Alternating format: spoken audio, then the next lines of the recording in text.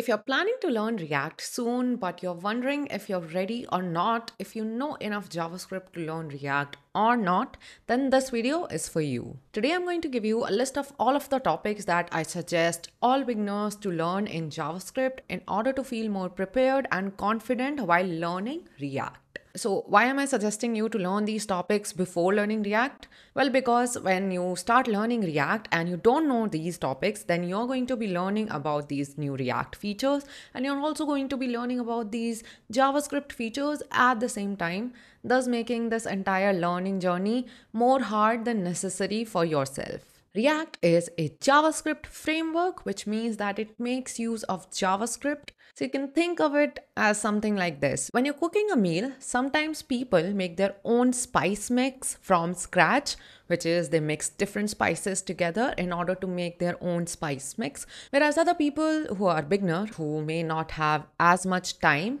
to create their own spice mix from scratch, they buy a ready made spice mix for these different dishes. For example, you can get a paneer masala spice mix, you can get a chana masala spice mix so that you don't have to make these yourselves. So you can think of React and JavaScript as something like that. So JavaScript is like the basic building block and React makes use of this JavaScript gives you a basic structure, gives you a basic framework so that you don't have to do a lot of the groundwork all from scratch. You can just make use of all of these features that React has provided you with so that your development journey is a little bit more convenient so that it is a little bit more efficient for you. Hopefully that made sense. Without wasting any more time, let's jump right into the topics themselves. So beginning with the JavaScript basics, this includes the basic syntax and the basic structure. So how to create comments, how to create variables, what are the different data types available to you in JavaScript, and also what are the different operations that you can perform on these different data types. One major topic that you need to cover here is the difference between primitive data types and objects in JavaScript. Talking about the operators, take a look at the arithmetic operators, comparison operators, logical operators, and assignment operators. If you already know a programming language, then you will probably have some transitive knowledge that you can take forward into this JavaScript learning journey. So, learning these operators will be a fairly easy game for you. Then you have control structures, again, if else statements that are probably more or less the same in different programming languages, as well as the switch statement. Then you have loops the two main loops are for loop and while loop. You can also take a look at the other loops provided to you in JavaScript, which include do while loop and some specialty loops for arrays and objects in JavaScript, the for in loop and the for of loop. Then you have functions, understand what functions are, what is a function declaration, what is a function expression, and how are these two different in terms of hoisting. Then let's talk about another special type of object called arrays. So what is the use of the array data structures? What are the basic operations that you can perform on arrays in JavaScript?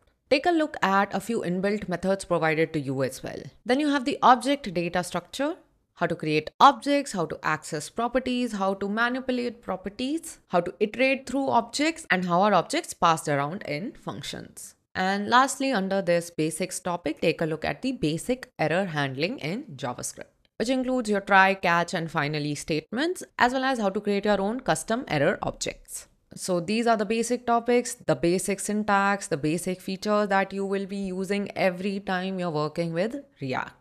Then let's move on to JavaScript fundamentals. So this includes truthy and falsy values. So in JavaScript, apart from booleans, so true and false, every value is either a truthy value or a falsy value. So every value either behaves like true or it behaves like false.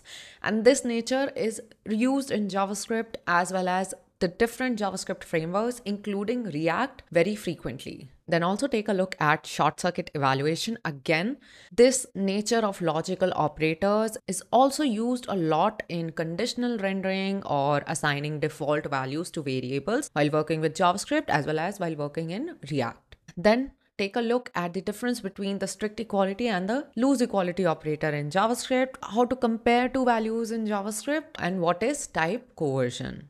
When creating any JavaScript program, you will work with some data and there would be a point where you'll need to compare two pieces of data. This is where this topic steps in. Then you have a very important topic. It's pass by value and pass by reference. I have an entire video on this topic. You can check it out using the link in the description box. So when creating JavaScript programs, you will be working with functions and when working with functions, you'll be passing around values. When you pass primitive values versus when you pass objects around in functions, these two behave very differently from each other in order to avoid any unnecessary confusion or any unintentional mutations to your data, you need to understand the difference between pass by value and pass by reference. The next, take a look at closures. What are closures and how are they helpful? React uses closures under the hood in the use state and the use effect hook. You might also end up creating your own closures from time to time. Then callback functions. Callback functions is again one of those features or one of those concepts that you will be using no matter what type of framework you're working with or even if you're not using any javascript framework even if you're just working with javascript you will be using callback functions every single time while working with asynchronous javascript or while doing dom manipulation and more Talking about DOM manipulation, that is the next thing that you should take a look at before you jump into React. Now, here I want to put a note when you're working with simple JavaScript programs, you're going to be manipulating the DOM yourself. But when you're working with React, as I said, React, it lays down a lot of the groundwork so that you don't have to do a lot of the things yourself. DOM manipulation is one of those things. So React takes care of the DOM manipulation. It abstracts out a lot of the logic so that you don't have to implement every single thing but it's important for you to understand what is happening under the hood or what is happening behind the scenes. So under this topic, you need to first understand what is the DOM itself, what is meant by elements and what are the different or uh, what are the basic methods that you can use to access elements from the DOM from your web page and then manipulate them. So these methods include get elements by class name or get element by ID or get elements by tag name. Then do a couple of different exercises to manipulate the DOM programmatically using JavaScript.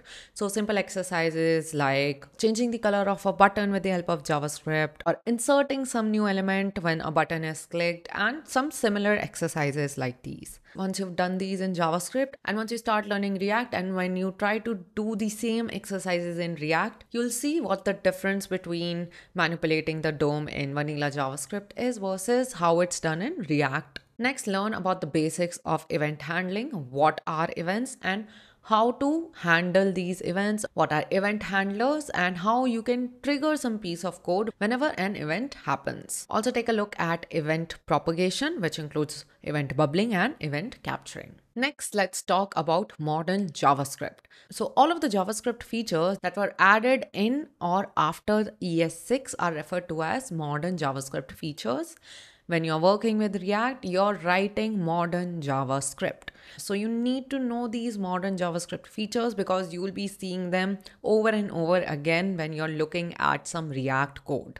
So starting with let and const, you need to understand the difference between let and const and you need to understand what is a block and what is the scope of let and const variables because you're going to be using let and const for creating variables in your React programs. Then let's take a look at one of the most misunderstood topics in JavaScript, which is asynchronous programming.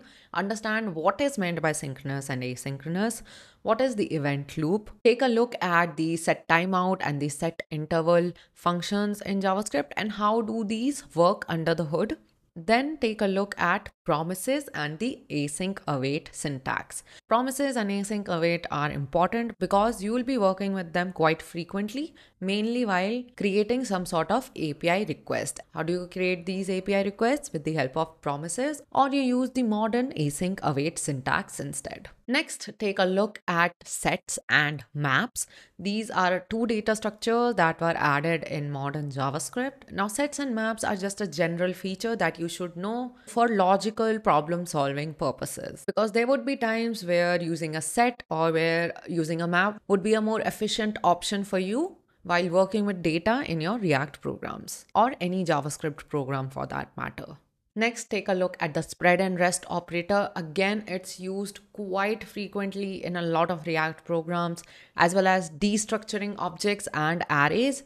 When you're working with React props, you'll see these two features being used over and over again the spread and the rest operator and the destructuring syntax. Then you have nullish coalescing operator, which also makes use of short circuit evaluation. It is useful for assigning some default values as well as for some sort of conditional rendering. Then you have the optional chaining operator, this makes it very easy for you to work with objects in your JavaScript programs. Then you have arrow functions. So this is a concise syntax for creating functions inside of your programs. You will be using arrow functions a lot, especially when you want to create a callback function. Arrow functions are usually the go-to syntax when working with callback functions. Then you have modules when working with different components. Each component is a file or a module by itself. So you will be importing components, you will be importing functions, utility functions, hooks, and you'll also be exporting your functions. So these are a few mentions from the top of my head when I think of modern JavaScript features that are frequently used.